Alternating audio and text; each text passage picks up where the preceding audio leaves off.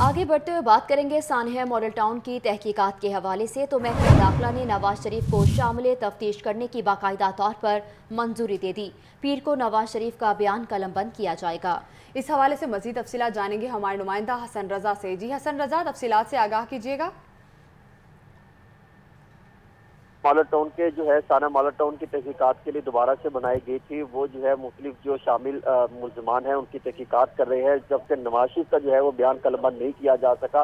اس کے لیے احتساب عدالت کے وہ جو ہے انہوں نے پیش کیا تھا، اس کی بھی اجازت دے دی گئی ہے۔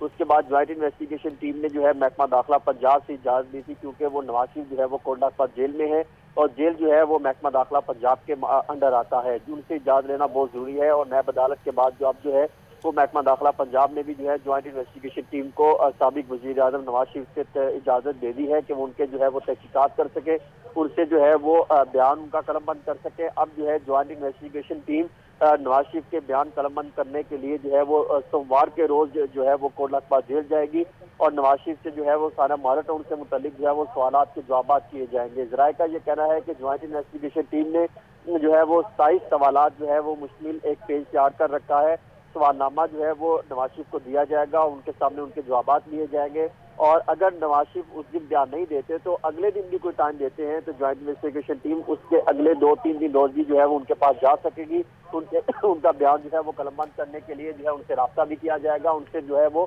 یہ محکمہ داخلہ پنجاب سے اجازت لینا ضروری تھی کہ وہ کولک پاس جیل جائیں اور وہاں سے جا کے ان کی پرمیشن لیں۔ کیونکہ سانہ مالا ٹاؤن میں سابق جو ہے وزیر اعلیٰ پنجاب شہباز شریف رانا ثناء اللہ سمیت دیگر جو ہے ان کے بیانات جو ہے وہ بھی قلم بند ہو چکے ہیں۔ اب صرف جو ہے نواز شریف کا بیان قلم بند ہونا باقی ہے۔ تو اس کے بعد جوائنٹ انویسٹیگیشن ٹیم جو رپورٹ ہے وہ جلد اپنی رپورٹ جو ہے وہ محکمہ داخلہ پنجاب ٹھیک ہے پیر کے روز نواز شریف اپنا بیان قلم بند کروائیں گے۔ حسن رضا بہت شکریہ آپ کا اپڈیٹ کرنے کے لیے۔